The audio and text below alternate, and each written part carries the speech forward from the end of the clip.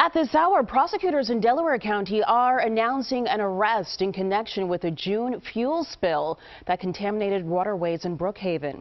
Officials say the spill originated at the gas and go at the corner of Coebourn Boulevard and Edgmont Avenue. That spill involved an estimated 4,000 gallons of gasoline.